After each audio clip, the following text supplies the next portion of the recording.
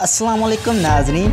नाजरीन, गौतम गंभीर ने पहली बार पाकिस्तानी बल्लेबाज बाबर आज़म के बारे में बहुत ही प्यारा ट्वीट किया है।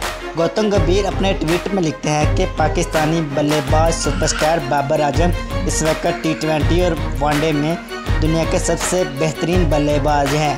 और गौतम गंभीर अपने ट्वीट में लिखते हैं कि टी ट्वेंटी वर्ल्ड कप में बाबर आज़म और विराट कोहली का कंपैरिजन का पता चल जाएगा।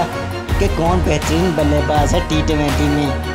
और ट्वीट में लिखते हैं कि पाकिस्तानी कुछ समय से काफ़ी वीक टीम थी, लेकिन अब लगता है कि पाकिस्तानी टीम इस वक्त दुनिया की बेस्ट टीम है। जिस तरह बाबर आज़म ने पहले टी ट्वेंटी में इंग्लैंड के खिलाफ बल्लेबाजी की, इससे ज़ाहिर होता है Babar Azam out class player है। और गौतम गंभीर अपने ट्वीट में लिखते हैं, काफ़ी अरसे बाद पाकिस्तान को ऐसा बल्लेबाज मिला है जो कि टी ट्वेंटी में दूसरे नंबर पर है और वनडे में पहले नंबर पर है। गौतम गंभीर अपने ट्वीट में लेते हैं कि अगर इंडिया को पाकिस्तान में टी ट्वेंटी वर्ल्ड कप में मैच जीतना है तो सबसे पहले बाबर आज़म को आउट करना होगा।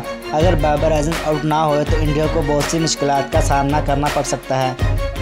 नाजिन, आपको क्या लगता है, पाकिस्तान वर्ल्ड कप में इंडिया से मैच जीत पाएगा? अगर जीत पाएगा तो कमेंट में ज़रूर बताइएगा।